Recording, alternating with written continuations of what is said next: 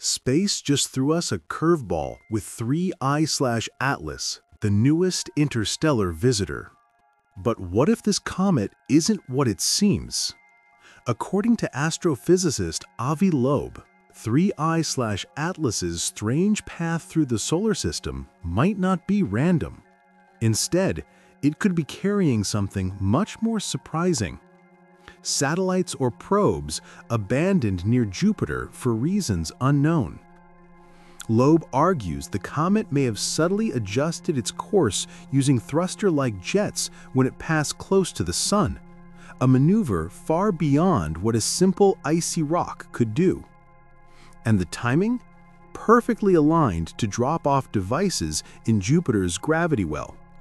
If that's the case, 3I/Atlas isn't just an interstellar wanderer, it might be a relic of an alien civilization.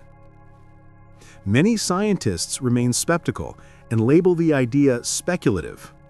So far, all official data treats 3I/Atlas as a comet. But as it nears Jupiter in 2026, the world will be watching.